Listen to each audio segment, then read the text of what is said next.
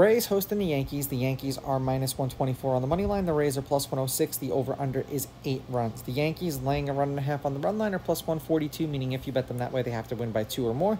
And the Rays getting a run and a half on the run line are minus 172, meaning if you bet them that way and they win this game outright, you win. They lose by one, you win. Weather will not be a factor because of the dome at Tropicana Field. Rodon pitched twice against the Rays last year. Four and two thirds, two runs, two earned. They lost 7 4. He struck out seven. Four innings, four runs, four earned. They lost 5 2. He struck out five. And Pepit or Pepoit did not pitch against the Yankees last year or this year.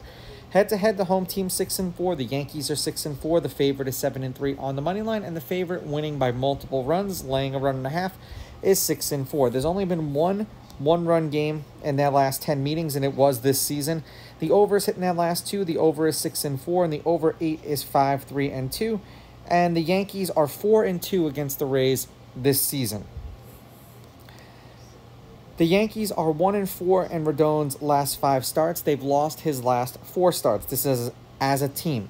The over is three and two. Five innings pitched, 7.2 hits, five runs, 4.8 of which were earned, 5.8 strikeouts, 1.6 walks, 1.4 home runs. He's given up home runs in three consecutive starts, and in all of those starts, it was multiple home runs.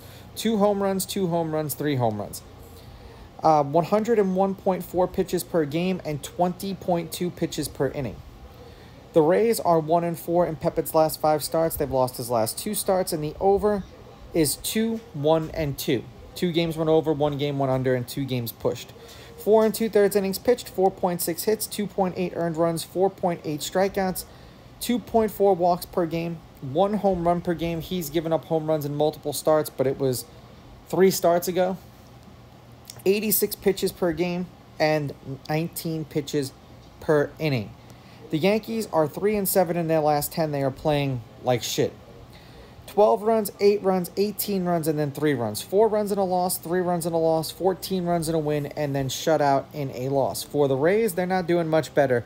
1 and 4 in their last 5, 18 runs, 3 runs, 7 runs, and 15 runs. 10 runs in a win, shutout in a loss, 3 runs in a loss, 2 runs in a loss. It just seems like when one team in this division starts losing, they all start losing, and then one team starts winning, they all start winning. They all get hot at the same time and cold at the same time.